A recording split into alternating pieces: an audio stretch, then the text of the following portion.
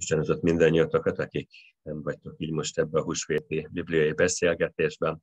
Én köszönöm Nevelős Gábor rendtársamnak, hogy bekapcsolódsz. Mindig önöket szoktam hívni, akik már itt voltak, de Gábor fenyegetem azzal, hogy reméljük, hogy el fog majd jönni megnézni ezt a torontói végvárat.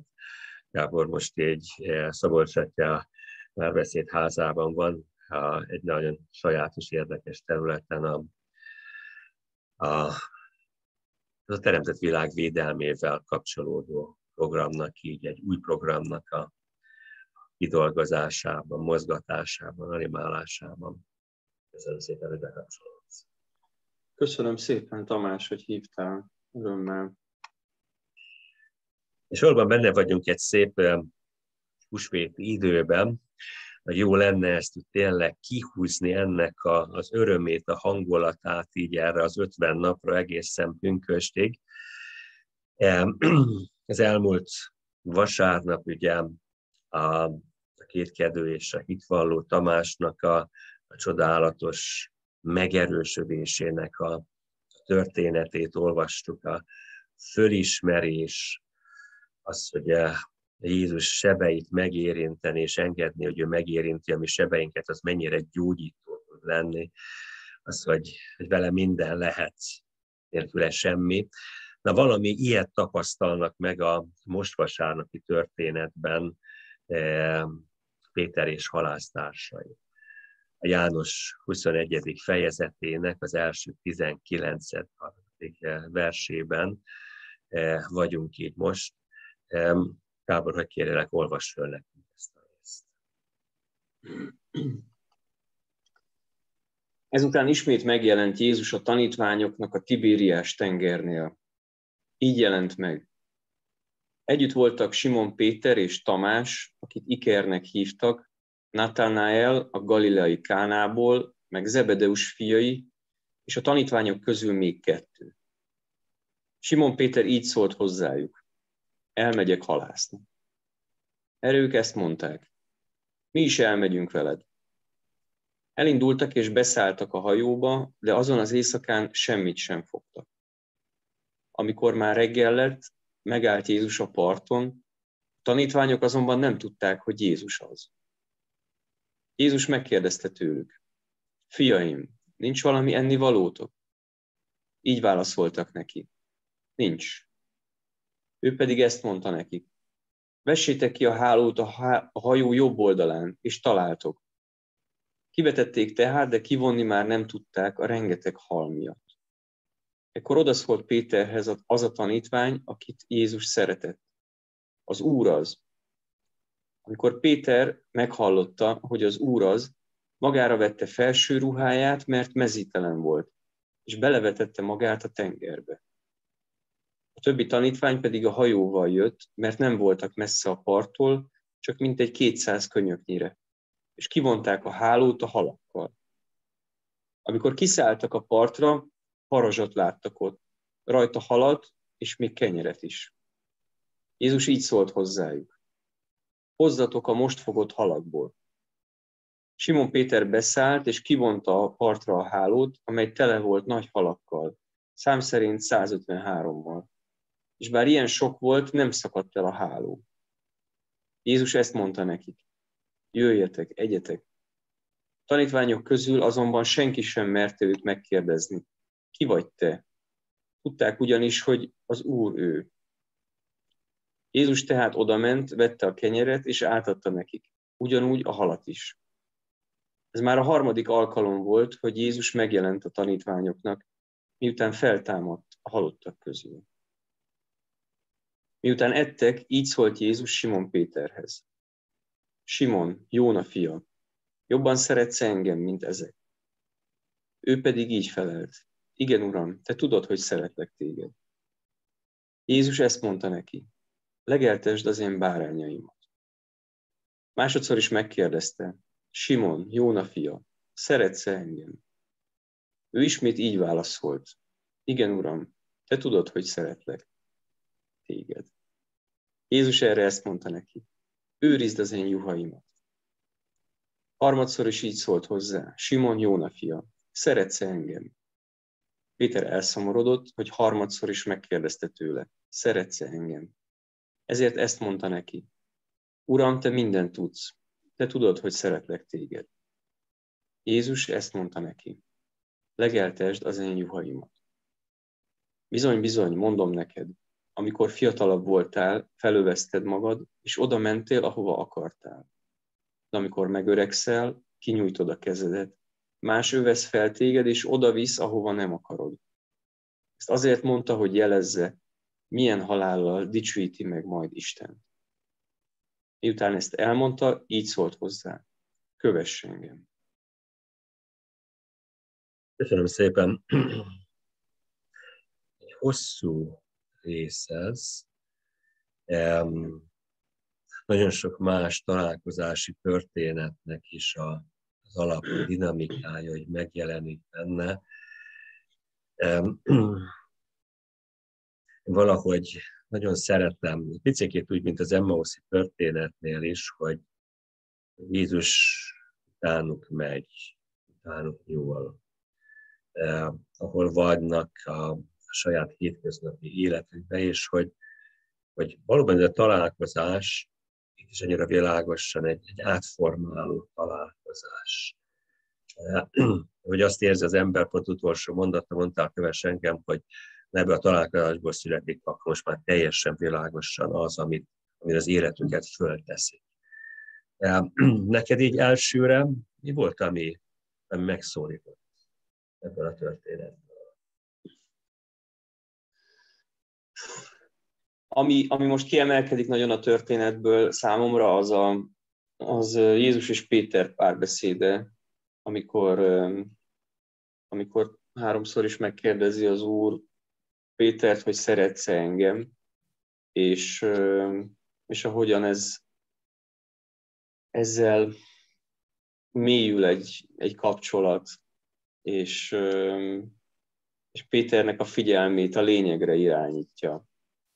Nagyon sok minden másra is lehetne figyelni ebben a helyzetben, mindazok után, amit együtt végig éltek, a Jézus halál drámája, Péternek a, az összeroppanása, és, és aztán a, a lényeg, az, az új élet az abból fog fakadni, hogy, hogy megvan ez, megvan-e ez a szeretet kapcsolat, ez a bizalmi kapcsolat, a, a megsebzett bizalmi kapcsolat újra, újjá épül egy, egy nagy lelkűséggel, ami elsősorban Jézustól jön, de hogy, de hogy e, ezt kell, ezt kell, hogy valahogy magáévá tegye Péter is, hogy, hogy, hogy az élet így, így bőséggel tudjon tovább menni, vagy így a nagyobb életet szolgálja. Szóval nekem most ez emelkedik így, így sok minden miatt, de, de nagyon szépnek tartom ezt a, ezt a feltámadási részt, így összességében is nagyon-nagyon gazdagnak látom ez valóban egy csodálatos szeretett tapasztalat, de akkor nézzük meg így egész konkrétan ezt a részt. Talán azt úgy érdemes kiemelni, hogy ha nézzük a közvetlen ezt megelőző sorokat, akkor úgy tűnik, hogy egyszer már vége lenne a János Evangéliumnak, és mint hogyha valamit így újra kezdte, és ugye ez nem véletlen ez az érzésünk, ugye azt mondják a Szentírásról sok, hogy ez ez a 21. fejezet, ez egyértelműen egy, egy nagyon korai kiegészítés. Még ott a szerkesztési időszakban talán egy János tanítványtól, de egy annyira beépült, hogy, hogy soha nem kérdőjelezték meg ezt, mint az egésznek az egységét, akkor is ugye szét tudjuk így választani. Tehát valahogy úgy kell elképzelni, hogy ugye jóval később, ez a legkésőbbi evangélium, összegyűjtik itt a Jánosi közösségben a történeteket, és amikor ez már, már összeállt, akkor na még valami. Na még valami, hogy ez fontos. Pont, hogy, hogy mondtad, ez a szeretet megvallásnak egy egészen különleges története. Ó, hát ezt mégis még bele kell tenni, valahogy ezt így képzelem el. Igen. És, uh-huh. Nagyon érdekes tényleg az, hogy, a, hogy hogy a 21. fejezet, amit most olvasunk, annak a végén is van még egy, még egy lezárása az egész evangéliumnak. Tehát, hogy, hogy ez, ez tényleg egy, egy valami ilyesmi dinamika lehet, amit te mondasz, hogy fú, már ez egyszer, egyszer már abba hagytuk a történetet, az egész nagy evangéliumot, de, de még, még ez, ez nem maradhat ki, úgyhogy újra, újra lekerekítjük a végén ezt is. És azt gondolom, hogy a történet maga az egy, ez egy nagyon alkalmas arra, hogy egy, egy Szent Ignáci szemlélődéssel belelépjünk, el tudjuk képzelni ezt a történetet. Ott vagyunk eh, a Tibériás tenger, a Galé tengernek a partján, ahonnan származtak, ahonnan a meghívásuk eh, történik. Aláztak, az az ő foglalkozásuk. Látjuk ezt a kisebb közösséget, akik együtt vannak, heten, nincs mindenki megnevezve, vannak olyanok, akiket nem a 12 között látunk. Tehát látszik azt, hogy a, azért ott a Jézusi tanítványi körnek egy része az egy együtt maradt Péterrel, és hogy Péterre úgy figyelnek. Az, azon álltam meg, hogy miért ez a meghatározó történet, ez, ez miért ott Galileában történik? És hogy amikor um, ott vagyunk a, a sírkertben, a Jézussal való találkozásnak a, az első napján, hogy az asszonyokhoz az üzenet, hogy, hogy menjetek a tanítványokhoz, és mondjátok, hogy, hogy menjenek vissza Galileába, és ott majd találkozom, hogy, hogy miért fontos vajon ez a, ez a Galilea annyira itt így um, föltámadás utáni időszak. Hogy érzed ezt? Nekem az ugrott be, vagy hát ezt, ö, sok nagy bibliotudós is már így leírta, de hogy, hogy tényleg szép az, hogy ö, mm, a Péter meghívási története is egy hasonló, hasonló szituációban történik, a a Jézus prédikál Péter hajójából, utána ugyanúgy egy hatalmas halfogás történik, és valahogy megrendül akkor Péter, és azt mondja, hogy fölismeri, hogy itt valaki, valaki egészen különleges van jelen, és, és azt mondja, hogy menj el, Uram, tőlem, mert bűnös ember vagyok. És Jézus ebben mondja ki azt, hogy, hogy ne félj, mert ezen túl ember halász teszel hogy megérinti őt valahogy nagyon lelkeméjén, amikor Péter nagyon őszintén és, és a lénye legmélyebb kapcsolatban így ott van, akkor ott megérinti ebben, és ad, ad, egy, ad egy értelmet az életének. És, és, és az egész kontextus meg valahogy visszaidézi ezt is, hogy, hogy honnan, hogyan indultak el ők együtt. Úgyhogy, úgyhogy szerintem ennek így, így ilyen szerepe is van emberileg, hogy, hogy vissza, visszavezeti az Úr a tanítványokat is, akik nagyon sok mindenen átmentek, ahhoz az alap tapasztalathoz, ahhoz az első élményhez, vagy első élményekhez, amik valamilyen nagyon különleges légkörben történtek, és, és hogy én más, egy más érzelmi fűtöttségben lehetett. És talán ezt idézi fel, de már egy más szinten, mindannak a fényében, ami dráma történt, de, de egyúttal mégis igaz marad az a, az a frissesség, vagy az a, az a varázslat, ami, ami ott elindult. Szerintem, hogy valami, valami ilyes, és nekünk meg valami ilyesmit is mondhat, hogy, hogy ha van valami dráma, vagy nehézség, vagy hogy, hogy nem eltörölve a nehéz dolgokat, de vissza tudjunk valahogy így nyúlni a, annak, a, annak az öröméhez, vagy felszabadultságához, am, mint amikor, amikor elindultunk egy úton, vagy amikor történtek ilyen szép élmények. Lehet azt mondani, hogy eh, ha ezek a tanítványok már túl vannak egy-egy-két Jézussal való találkozáson, tehát már nem tudjuk mennyi idővel vagyunk itt ugye a, a föltámadás első napja után, hm. de hogy alapvetően a tanítványok még mindig benne vannak a nagypénteknek a sokjában. Tehát annak a fájdalma, reménytelensége, üressége, bizonytalansága a jövő felől, az árulásnak, az, hogy ott hagyták a mesterüket, vagy megtagadták akár ennek a szégyene. Hát, hogy mindez még ott van, és hogyha ha találkozhattak, ott akkor Jeruzsálemben a föltámadt Jézussal, de alapvetően ez még, még nem állt össze bennük, ugye? Ez majd itt még visszatérünk ez a fölismerés, nem fölismerésnek a kérdésére. Ott vannak alapvetően ennek a nagypénteki traumának a nyomása alatt.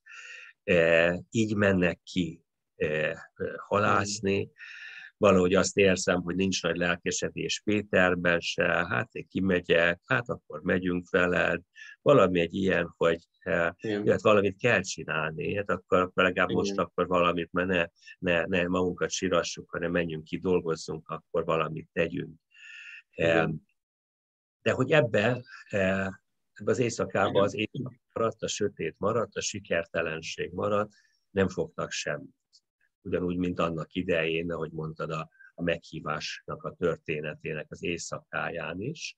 Uh-huh. Um, um, ami azért érdekes ugye így, hogy hát mi ezért azt szeretnénk a magunk életében, hogyha mi már, mi már jók vagyunk, mi már megtértük, mi már akkor mi már rendesek vagyunk, azért már, hát valamiben legyen már könnyebb az élet.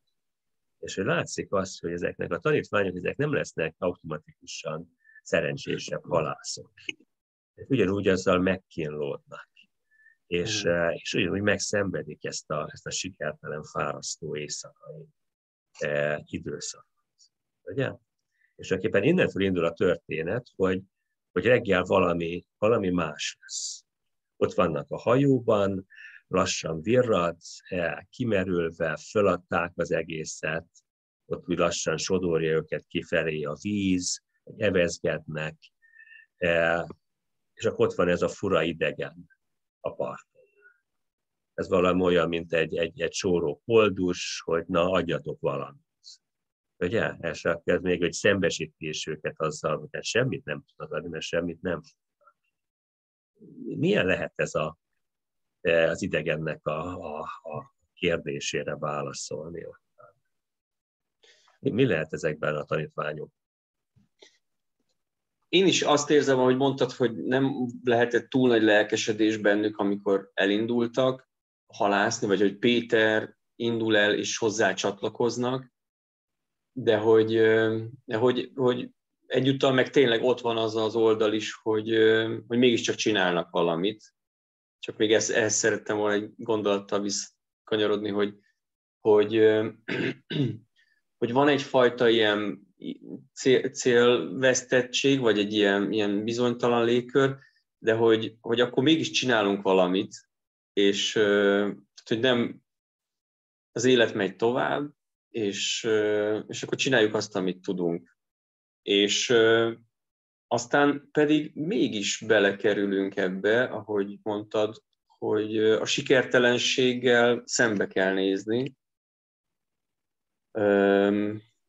ami, ami nyomasztó lehet, de, de, nem, de nem úgy, hogy csak úgy elhagytuk magunkat, hanem hogy, hogy, hogy ők, ők dolgoztak egész éjszaka, és szerintem megtették, amit tudtak a maguk részéről, és aztán elfáradtak, elkeseredtek, ott vannak. És akkor ebbe lép be valahogy az Úr. Lehet, hogy, tehát, hogy ennek is lehet egy ilyen pedagógiája, hogy, hogy valahol ott tud megérinteni, amikor nagyon a, nagyon a határaid eljutottál. Péter a meghívásnál ott jutott el egy ilyen határhelyzetbe, hogy, hogy látta, hogy ez emberileg lehetetlen, ez, ez, így, ez így nem fölfogható, ami történik,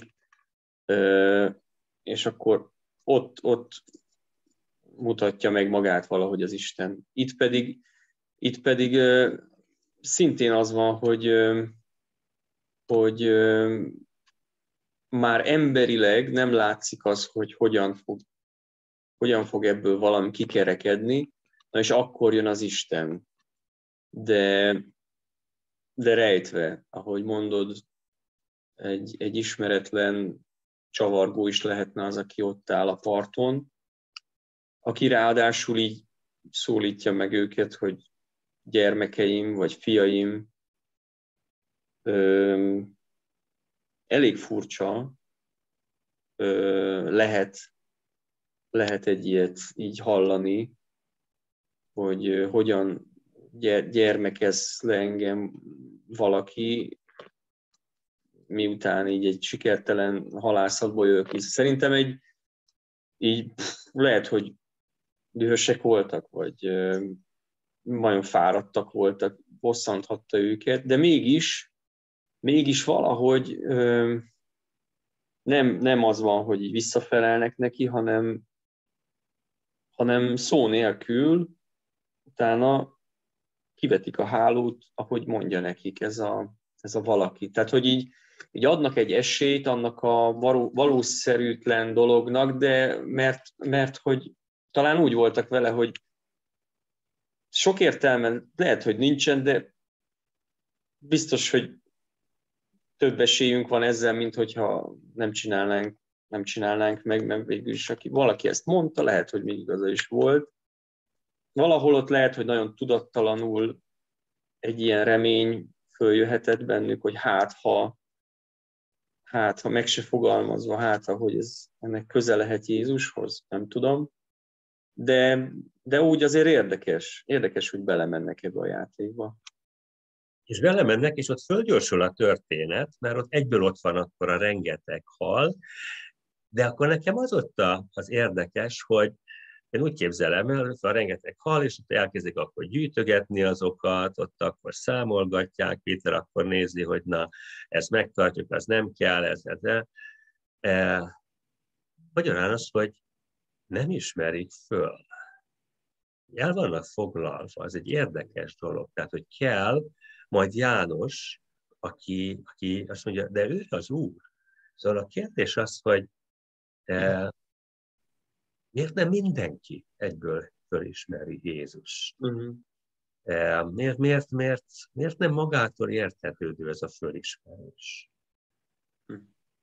Ez persze ugyanúgy kérdés az összes többi E, találkozási történetnél, meg a mi életünkben is, e, de, de álljunk meg újra. Hogy, hogyan érzed? Miért, miért nem is?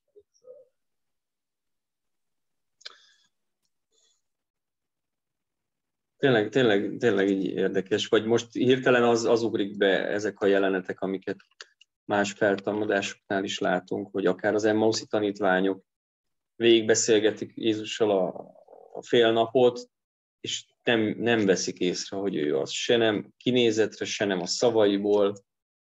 Mária Magdolna azt hiszi, hogy a kertész, meg... Na, szóval, hogy így van valami, valami titokzatosság így a feltámadt Krisztus alakjában, és ö, azt gondolom, hogy tehát az lehet, hogy, hogy de abból indulok ki, hogy, hogy, hogy mondjuk én miért, nekem miért nehéz felismerni az Isten jelenlétét a, az életemben, mert, mert el vagyok nagyon foglalva saját magammal, meg a saját dolgaimmal, és, és akkor azokra, azokra fókuszálok, és tehát így hiszem azt, amikor így elgondolkodok rajta, hogy mélyebben bele, belegondolok, akkor, akkor hiszem azt, hogy jelen van Jézus, a feltámadt Jézus az életemben, az emberekkel való találkozásokban, meg, meg a dolgokban, de hogy ez így sokszor nem tudatos számomra, és, csak né- és akkor vannak pillanatok, amikor így, így föl, föllebben egy fátyol jobban, amikor nem tudom, valahogy megnyílik az ég, és akkor, akkor, akkor észre lehet jobban venni, de hogy mint hogyha ez így a földi létben egy ilyen alapdolog lenne, hogy, hogy rejtetten, rejtetten van az Isten, és hogy, és hogy akkor tárul fel, ha van valami ilyesmi, hogy a, nem tudom, hol, hogy, az, hogy az úr a kevélyeknek ellenáll, de az alázatosoknak meg megadja a kegyelmét, hogy valahogy amikor így, nem tudom, így el tudjuk engedni a, a dolgainkat, meg magunkat, akkor, akkor, akkor tudjuk befogadni azt, hogy ő jelen van. És hát nem tudom, tényleg így János szerepe így különlegesebben, hogy pont ő meg sikerül. Valahogy azt eh, eh, érzem, hogy ez egy központi tapasztalat, amit mondasz, amikor eh, azért nem ismerjük föl, mert, mert el vagyunk foglalva valamivel, ugye amikor azt mondja itt így többször a szöveg, hogy látásunkban akadályozó voltak ugye az Emmonszi tanítványoknál is. Egyszerűen a, a különböző emberi adottságaink szintjén ott vannak a, a, a gátak. Ugye értelmük azt mondja, hogy eh, hát föltámadás az nem létezik, mert ilyen nem volt korábban. Ugye? A hitük azt mondja, hogy ez nem lehetséges, mert hát alapvetően a messiás az nem szenvedhet. Már pedig itt eh, az ő tanítójuk szenvedett.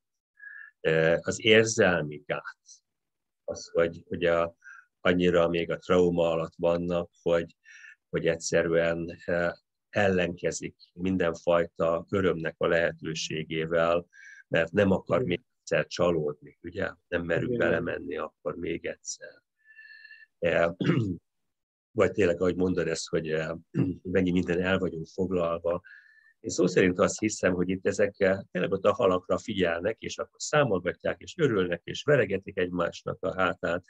Hát most az, az a fontos. Ugye?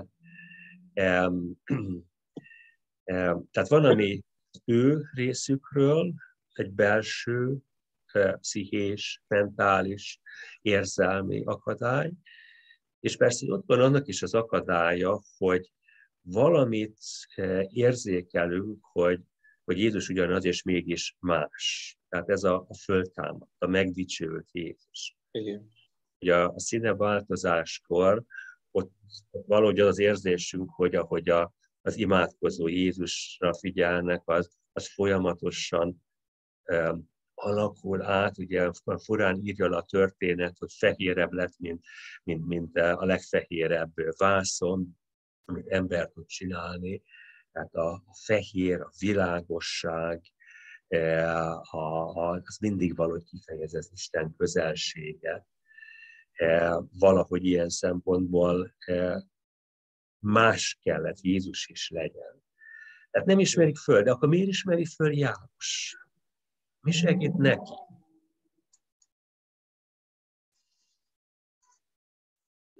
Tehát János, János, János evangéliumát olvassuk egyébként, és hogy itt Jánosnak az alakja különleges fényben. Péter, Péteré is, de az ő alakja, János is elég különös fényben tűnik fel, aki, aki, akitől Jézus tudjuk, hogy, hogy különleges szeretettel fordult, és, és azt hiszem, hogy, hogy ez a fajta mélyebb bizalmi szeretet kapcsolat. Valami ilyesmit akar talán ez is üzenni, hogy, hogy a szívével látja meg János Jézust valahogy ráérez, hogy ez ő. És ezt azért tudja, mert, mert köztük az a fajta bizalmi kapcsolat nem roppant meg olyan módon, mint mondjuk Péter és Jézus között. Tehát, hogy János nem tagadta meg Jézust, meg, meg ott volt, ott volt az utolsó percekig mellette, és Pétert egész más úton vezeti, majd ezt megint fogjuk látni, hogy pont ezen a mély ponton keresztül vezeti a bizalom útján Jézus, de minthogyha János ezzel a fajta hűségével így meg tudott volna ér, őrizni egy, egy olyan érzékelést vagy érzékenységet, amit a többiek nem. Szóval, hogy ez is egy út.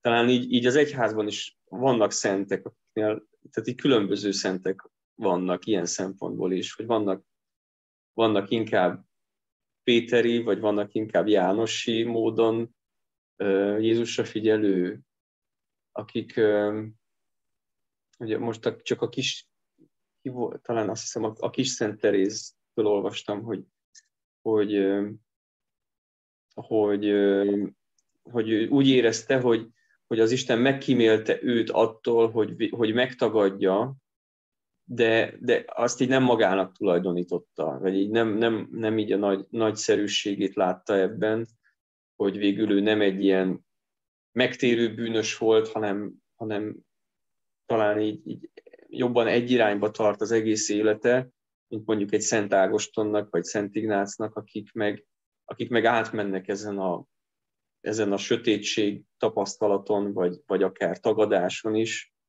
és hogy abból vezeti ki őket az Isten így egy vele való bizalomra. De hogy, na, visszatérve az eredeti kérdéshez, hogy, hogy János azt hiszem egy ilyen modell, akihez szintén van egy meghívás, hogy akkor lehet, lehet ilyen módon is, hogy, hogy, hogy én, én ott maradok, én ott maradok vele, és az Úr meg megajándékoz egy ilyen látással, amivel a többieket nem. Igen. Valahogy azt érzem, hogy, hogy ez a Jánosi út az, ahol, ő, ő megtartja azt a, a gyermeki e, utat, amit Jézus sokszor mond. Azt érzem, hogy, e, hogy azért nem, nem menekül el ott a kereszt alól, mert, e, mert nincs benne a felnőttnek az, aggodalma, hogy mi lesz velem vagy hogy itten azt érzem, hogy, hogy a, a, a, a hogy ő nem ragad le a halakkal, hanem valahogy egyszerűen rácsodálkozik, de hogy honnan volt ez, hogy ez most miért volt. Tehát uh-huh. Nem, a, nem a felnőtteknek az, hogy na, ó, de jó, akkor most egy hétig, akkor most el tudjuk látni éppen a családot, hanem egyszer rácsodálkozik, hogy na, mi volt az a hang, ez a megszólítás. És valahogy azt érzem, amikor azt mondja, hogy a, az Úr az, akkor szinte magának mondja ki. Szép. Mm. És hogy, hogy azt az, az hallják meg, és akkor megint berobbannak az események, mm-hmm. ugye, mm-hmm. akkor mindenki meghallja, akkor Péter már akkor rohannak ki, hogy akkor, akkor üdvözölje először a mester, akkor már többiek is fölismerik. Tehát a, akkor mondja az egyik, mennyire fontos ez, mert az meg tudja a többieket is mozgatni, tud életet adni. Hm. Igen. Igen. Hogy benne is, benne is így, így zajlott ez a, ez a folyamat. Ezt most így szép ezt így, így elképzelni, hogy, hogy, így, hogy így történnek ezek az események, és akkor, és akkor így összeáll benne a kép. Vagy így ez az érzékelés gyermeki módon. Tehát, hogy ja, Fölismeri. De valahogy megfér. Valahogy megfér. Tehát, hogy, hogy akkor a kincs, hogy ő ott van, ahogy mondod, és hogy, és hogy meg, meg aztán meg mégiscsak Péter a vezetője az egésznek, aki kiviszi a csapatot, meg aki aztán oda megy. Tehát, hogy, hogy megvan az ő nagyon fontos szerepe is, a felnőttesebb, de és, és, és elbukott, szereplő is aztán meg egy, egy másik szinten újra tud csatlakozni Jézushoz, de hogy mekkora kincs, hogy, hogy ott van a gyermeki lelkület is. Kiegészítek egymást, igen. De viszont mégis közösen mennek ki, közösen várja őket Jézus már ott az étellel, e, a kenyérés hal, az eukarisztikus jelek. E, nekem annyira csodás az, hogy, hogy kéri Jézus, hogy hozzanak abból is, amit fog hogy, hogy az, az ő munkájuk is, amit ők hoztak, azt is rakják oda, az is a része ennek az egész megvendégelésnek. Um, és olyan érdekes számomra az, hogy ott van ez, a, ez az ünnepélyes, e, az utolsó vacsorára, e, e, e, vissz, utolsó vacsorát visszaidéző kép, és akkor ott van még mindig az a mondat, hogy senki nem merte megkérdezni, hogy ki ő. Igen. Tehát, szóval ez olyan, egészen fura a mondat szerkezet. Hát most, hogyha tudták, akkor, akkor nem miért kellett megkérdezni? Hát azért kellett megkérdezni, mert azért mert ott volt a bizonytalanság. Ez nagyon érdekes ez az átmenetiség az egész történetben, ami nekem azért fontos így, mert egy mai szemmel nagyon könnyen e, úgy, úgy, úgy le e, butázzuk az apostolokat, hogy hogy, hogy nem vették észre, és hogy most a milyen mamlaszok voltak, de hogy ez a normális út, azt gondolom. Tehát ez a, hogy, a, hogy, hogy egyszerűen rá kellett döbbenniük, csodálkozniuk, és amikor még túl hamar úgy benne vagyunk az, hogy hát persze húsvét estére akkor már föl kell támadni Jézusnak, akkor már el is veszítjük ennek a, a valóban a döbbent tapasztalat, ami pedig most itt van ezekben. Hogy ez nem magától értető, ez egy különleges csoda, amit megjelent. Igen. Olyan, olyan emberi az egész történet, hogy, hogy hogy, hogy megengedi, megengedi ezt a, ezt a akár bizonytalanságot, és tehát ez nem egy, nem egy ilyen matek példa, hogy, hogy akkor Jézus meghalt, föltámadt, és akkor kész, hanem hogy, hogy ez egy, ezek, ezek így kapcsolatokról szólnak ezek a történetek, és a kapcsolatokban, ezekben az emberi találkozásokban ott van, ott van sok érzés, fájdalom és törékenység, és ez így mind, mind át tud jönni, vagy ez a tapintat. Engem így meg, megfog, hogy, hogy nem merték megkérdezni. Tehát, hogy vannak dolgok, amiket így nem mondunk ki, de hogy, de hogy érezzük, hogy ez így van. És hogy, és hogy azt is érezzük, hogy ha, ha kimondanánk, az lehet, hogy úgy igaz lenne, de, de hogy, hogy, hogy egy picit el is törni azt a helyzetet, hogyha így, így nagyon, nagyon mindent mi nagyon kimondunk. Mert ez egy olyan szent, és hogy, és hogy nem mondom ki egyik barátomnak, amikor egy, tudom én, egy jót beszélgettünk, és valami fontos, mély dologról beszél, nem mondom ki azt, hogy na most mi nagy barátok vagyunk, ezzel így agyon tudnám ütni azt a helyzetet, hanem egyszerűen csak érezzük, hogy itt most történt egy, egy, egy, egy mély emberi találkozás, és jó, jó ebben benne lenni. Igaz, de, de azért mégis nagyon sokszor fontos valamit kimondani. Egyértelműen mondasz, hogy tudjuk bagatelizálni a dolgot, hogyha ott nagyon szájba rágjuk. De milyen érdekes, hogy eh, most ebbe a történetbe a Jánosi kimondás az Úr az. Igen. Ebben ebbe nincsen semmi bagatelizálás, ebben egy, egy rácsodálkozás van.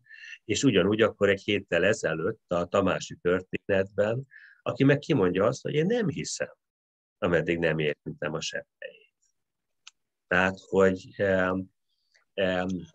a szóra mindig ügyelni kell, de mégis uh, a, a, a szavakon keresztül tud fölerősödni tulajdonképpen minden, megtisztulni, kimondott szónak ereje van, így vagyunk. Igen. És akkor tulajdonképpen Igen. pont ez történik most akkor ebben, amit, amit, amit téged megfogott, akkor a Péteri hármas szerepet kérdés.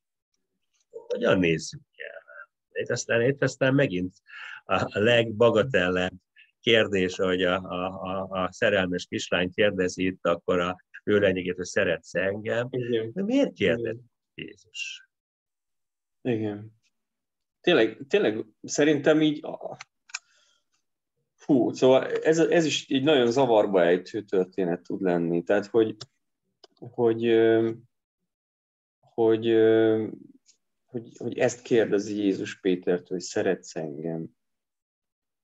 Mm, ezt így nem is tudom, hogy, hogy, hogy tényleg egy szerelmi kapcsolat az a kontextus, ahol, ahol mondjuk ilyet fölmer vállalni az ember, hogy ilyenről beszéljen, vagy, vagy így, így nagyon közeli, közeli családban talán valamilyen módon, de hogy, de hogy, hogy ezzel a háromszor ismétléssel Jézus mutatja azt is, hogy, hogy itt, hogy itt alapvető dologról van szó, tehát egy központi dologról van szó, ez nem csak így kicsúszott a száján, vagy nem tudom, éppen nem talált jobb szót, hanem, hanem valahogy hogy tereli a figyelmét Péternek afelé, hogy mi az, ami igazán számít. És, és, és itt érkezik el azt hiszem az a pont, tényleg így a, az evangélium záró köve kb. az, hogy, hogy Péter már ki tudja mondani a választ.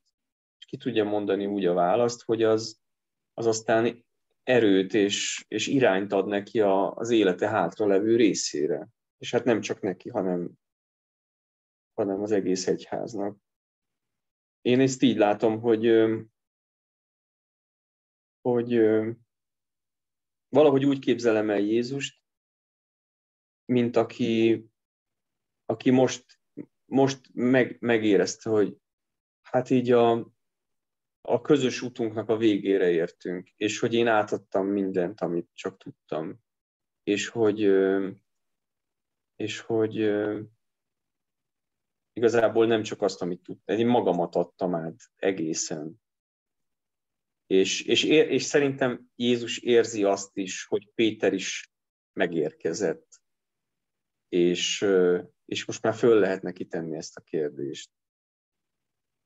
És hogy, hogy, hogy megfogalmazza a válaszát mindarra a szeretetre, amit Jézustól kapott elsősorban, hogy most már, most már fölismerve azt a kincset, fölmérve annak a jelentőségét, most már ő is szabadon azt tudja mondani, hogy szeretlek, és hát azzal együtt, hogy, hogy ebben benne van, benne van a, a nagy csütörtöknek, nagy pénteknek a tragédiája is. Erre is szoktak hivatkozni, nem véletlen a háromszori szeretet megvallás, hogy ebbe benne van egy a közös utunknak a fájdalma is, de hogy valahogy így képzelem el Jézust, aki így egy nagy nagy lelkűséggel és nagy mondjam, bizalommal ott áll, nem letagadva a múltat, hanem inkább mindennel együtt, így azzal a reménnyel, hogy Péter is tud, tudja úgy odaadni magát, mint ahogy ő, Jézus odaadta magát. És a szavaknak az ereje, ugye, hogy Jézus alkalmat ad arra, hogy Péteri háromszori tagadást azt most meggyógyítsa a háromszori hitvallás, a háromszori szeretetnek a kimondása. Ugye nagyon érdekes, hogy a, e, a magyarban is a, a, a szeretet szó az, az nagyon sokfajta e, szint kifejez, nem, nem igazán tud megkülönböztetni.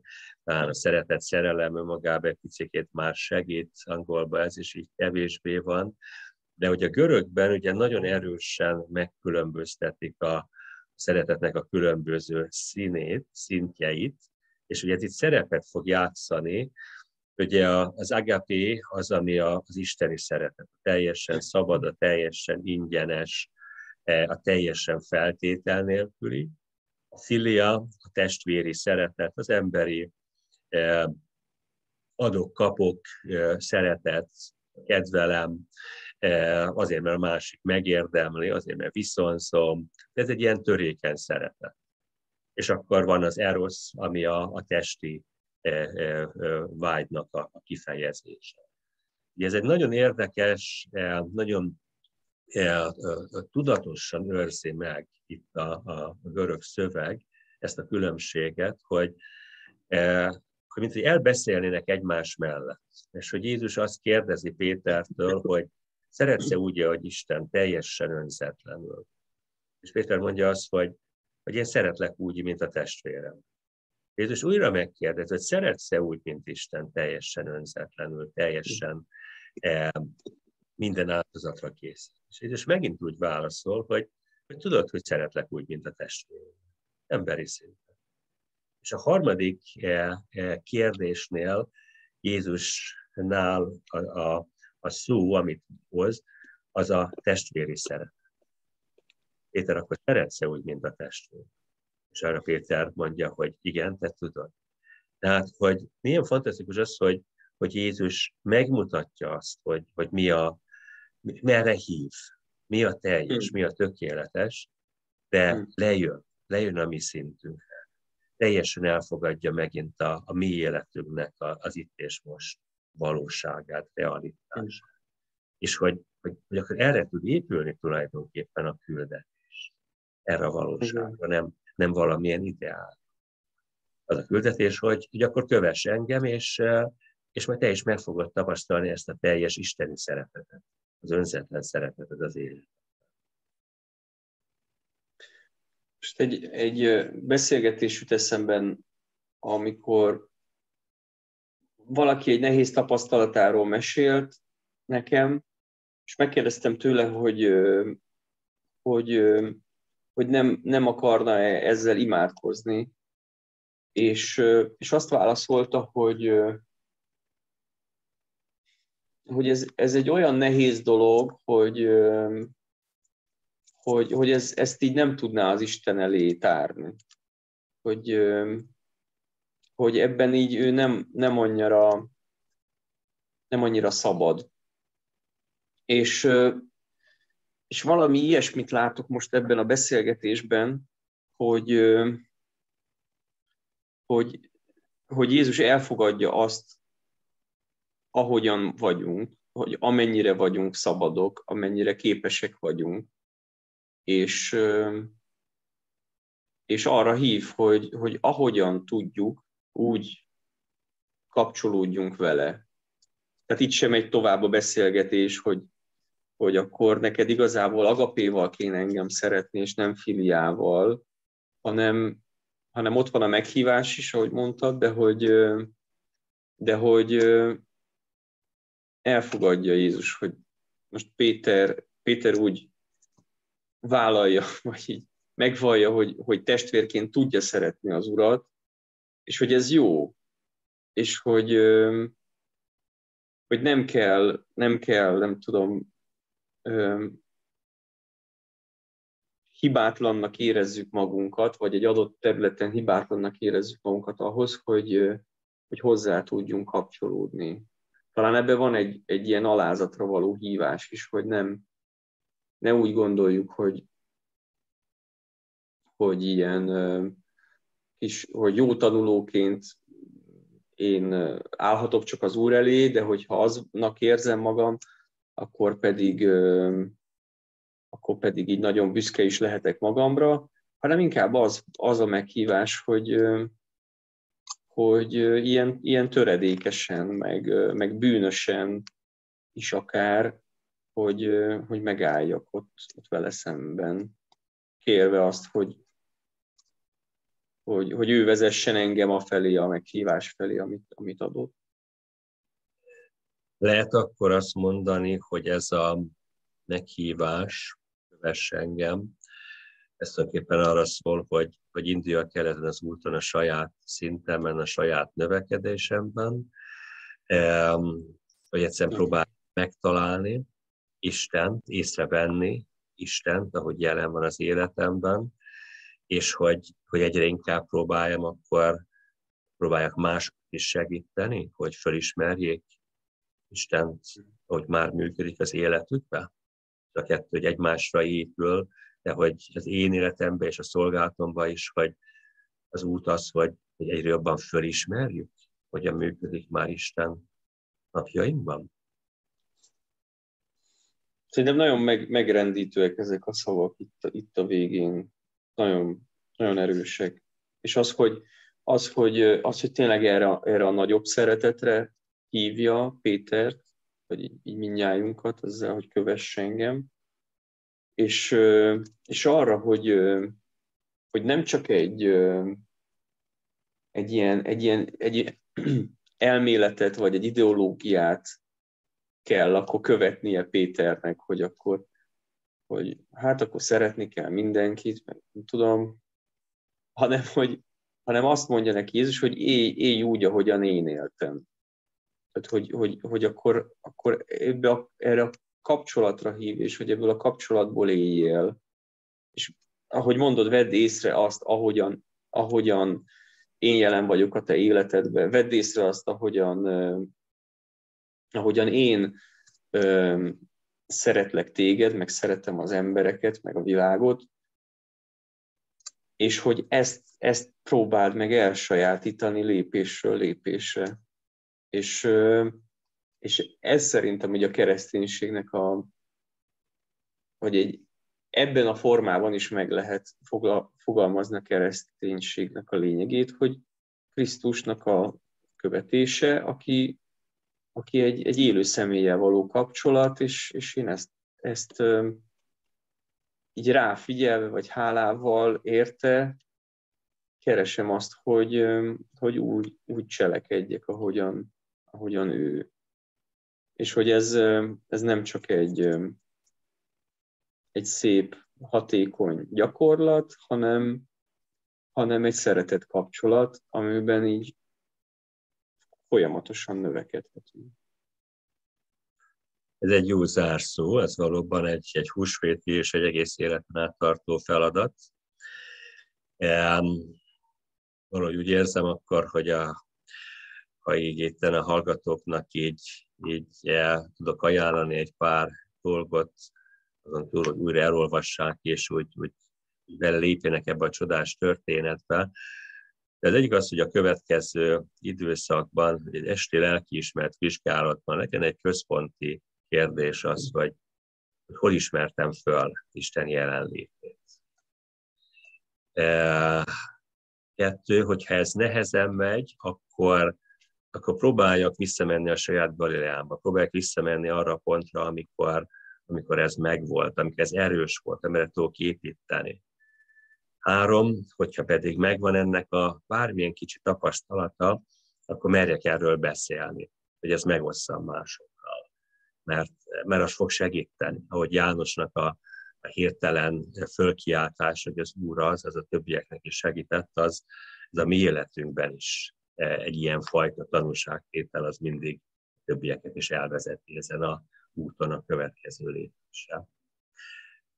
Én köszönöm szépen a beszélgetést, akkor legyen áldást a otthoni húsvéti úton mindannyiunkért. Isten áldjon Gábor. Köszönöm szépen.